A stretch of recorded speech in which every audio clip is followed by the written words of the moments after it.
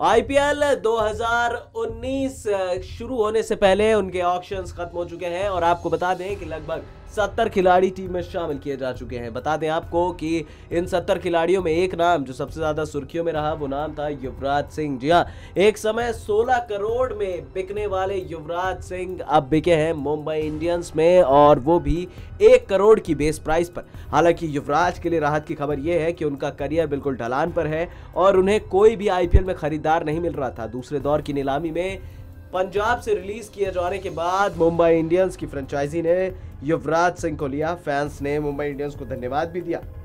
बाद में press conference के दौरान मुंबई इंडियंस के कोनर आकाश अंबानी ने साफ़ किया कि युवराज सिंह का वो कोई करियर नहीं बचा रहे हैं। वो युवराज को कई सालों से लेना चाहते थे, लेकिन उन्हें मौका नहीं मिल रहा था।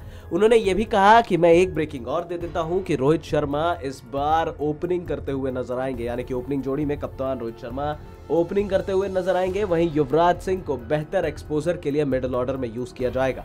वहीं लसित मलिंगा की भी मुंबई इंडियंस में एंट्री हो गई है। यानी कि साफ़ तौर पर अब मुंबई इंडियंस की टीम स्ट्रांग हो गई है और हर कोई अब यही कहेगा आला रे आला, मुंबई इंडियंस आला रे नेक्स्ट नाइन स्पोर्ट्स डेस्क से अभिलाष पांडे की रिपोर्ट।